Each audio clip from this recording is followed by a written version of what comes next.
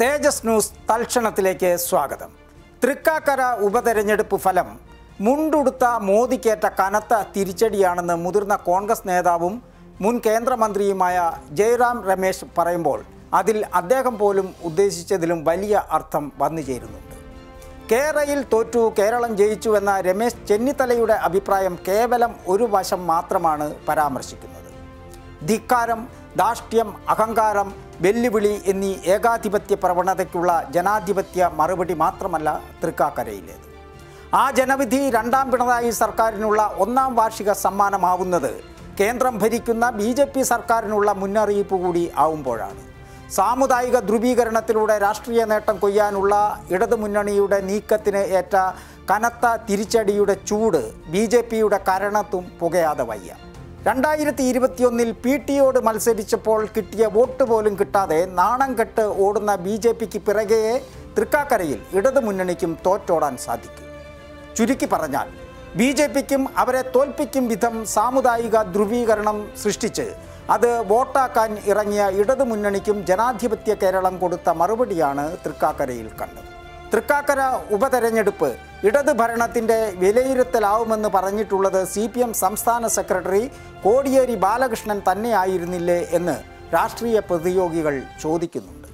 Captain ജേഴ്സിയിൽ നിൽക്കുന്ന പിണറായി വിജയന്റെ image രക്ഷിച്ചു നിർത്തി തിരഞ്ഞെടുപ്പ് ഫലത്തെ വിലയിരുത്താനാണ് സി പി എം ശ്രമിക്കുന്നത്. അതുകൊണ്ടാണ് തിരഞ്ഞെടുപ്പ് പ്രചാരണം നയിച്ചത് മുഖ്യമന്ത്രി നേരിട്ടല്ലെന്ന ന്യായീകരണവുമായി ഉമയുടെ ലീഡ് ഉയരുന്നത് കണ്ടപ്പോഴേ സി പി എം എറണാകുളം ജില്ലാ സെക്രട്ടറി സി എൻ മോഹനൻ രംഗത്ത് വന്നത്. എന്നാൽ തിരഞ്ഞെടുപ്പ് പ്രചാരണത്തിന്റെ അവസാന ദിനങ്ങളിൽ മണ്ഡലത്തിലെ വോട്ടർമാരെ തങ്ങൾക്ക് അനുകൂലമാക്കുന്നതിന് തികഞ്ഞ വർഗീയ അജണ്ടകളാണ് സംസ്ഥാനത്ത് ഇടതുപക്ഷം നടപ്പാക്കിയതെന്ന വിമർശനം നേരത്തെ ഉയർന്നതാണ്. ന്യൂനപക്ഷ വിഭാഗങ്ങൾക്കിടയിൽ തെറ്റിദ്ധാരണ പരത്തിയും പക്ഷപാതപരമായ പെരുമാറ്റത്തിലൂടെയും ധ്രുവീകരണം സാധ്യമാക്കാനാണ് ഇടതുമുന്നണിയുടെ ശ്രമമെന്നും വിമർശനം ഉയർന്നിരുന്നു. സംഘപരിവാരം മുന്നോട്ട് വയ്ക്കുന്ന വർഗീയ പ്രചാരണം സാധൂകരിച്ചും ഏറ്റുപിടിച്ചും ഇടതുമുന്നണി പ്രചാരണം കൊഴുപ്പിച്ചത് അതിനായിരുന്നു. ആലപ്പുഴയിൽ ഒരു കുട്ടി വിളിച്ച മുദ്രാവാക്യം പോലും മറയാക്കി വ്യാപകമായ അറസ്റ്റും തടവറയും ഒരുക്കി സംഘപരിവാര അനുകൂലികളുടെ വോട്ട് നേടിയെടുക്കാമെന്ന് അവർ വ്യാമോഹിച്ചു. പക്ഷേ ഫലം മറിച്ചായിരുന്നു എന്ന് മാത്രം. ബി ജെ പിയെ എന്നും പടിക്ക് പുറത്തു നിർത്തുന്ന കേരളത്തിലെ വോട്ടർമാരുടെ മനസ്സ് കാണാനാവാത്ത വിധം സംഘപരിവാര സംസർഗം അന്ധമാക്കിയ ഇടതുപക്ഷത്തിന്റെ മൂക്കിടിച്ചു വീഴലാണ് തൃക്കാക്കരയിൽ കണ്ടത്. കോൺഗ്രസിനോടോ യു ഡി എഫിനോടോ ഉള്ള അമിത ആവേശമല്ല തൃക്കാക്കരയിൽ കണ്ട ജനവികാരം. അത് സി പി എമ്മിനുള്ള തലയ്ക്കടിയും പിണറായി സർക്കാരിനുള്ള ഷോക്ക് ട്രീറ്റ്മെന്റും തന്നെയാണ്. അക്ഷരാർത്ഥത്തിൽ തൃക്കാക്കരയിൽ നടന്നത് ഒരു ജനവിചാരണ തന്നെയാണ്. കേരളയിൽ അടക്കമുള്ള സർക്കാർ ധാർഷ്ട്യവും സി പി എമ്മിന്റെ രാഷ്ട്രീയ അകന്തയുമാണ് വിചാരണ ചെയ്യപ്പെട്ടത് എന്ന് മാത്രം. കഴിഞ്ഞ തദ്ദേശ നിയമസഭാ തിരഞ്ഞെടുപ്പുകളിൽ പ്രയോഗിച്ച ക്രൈസ്തവ പ്രീണന നയത്തിൽ ഊന്നിയുള്ള വിഭജന രാഷ്ട്രീയമാണ് തൃക്കാക്കര പിടിച്ചെടുക്കാനും സി പി എം പയറ്റിയത്. അരുൺകുമാറിനെ മാറ്റി സീറോ മലബാർ സഭയ്ക്ക് പ്രിയപ്പെട്ട ജോസഫിനെ സ്ഥാനാർത്ഥിയാക്കിയത് മണ്ഡലത്തിൽ ഭൂരിപക്ഷമുള്ള ക്രൈസ്തവ വോട്ടുകൾ ലക്ഷ്യമിട്ടായിരുന്നു. പി ടി തോമസ് സ്വന്തം ജീവൻ കൊണ്ടും മരണം കൊണ്ടും സഭയോടും പൗരോഹിത്യത്തോടും പുലർത്തിയ നിലപാടിനെ തങ്ങൾക്ക് വോട്ടാക്കി മാറ്റാൻ സി പി എം ശ്രമിച്ചു. പക്ഷേ അത് ആ പാർട്ടിയുടെ പുരോഗമന മുഖം മൂടി വലിച്ചു കീറുന്നതായി മാറി. കേരയിൽ അടക്കമുള്ള വിവാദങ്ങളിൽ സർക്കാർ വെല്ലുവിളിച്ച ജനതയിൽപ്പെട്ടവരാണ് തൃക്കാക്കരയിൽ ഉള്ളത്. വളഞ്ഞ വഴിയിൽ നൂറ് തികയ്ക്കാനുള്ള സി പി എമ്മിന്റെ കുൽസിത നീക്കങ്ങളാണ് തൃക്കാക്കരയിൽ തകർന്നു വീണത്. സഭയുടെ ഉടമസ്ഥതയിലുള്ള ആശുപത്രിയിൽ വൈദികനെയും സഭാ ചിഹ്നങ്ങളെയും സാക്ഷിയാക്കി നടത്തിയ സ്ഥാനാർത്ഥി പ്രഖ്യാപനം തന്നെ ന്യായീകരിക്കാൻ സി പി എം പാടുപെട്ടത് കേരളം കണ്ടു.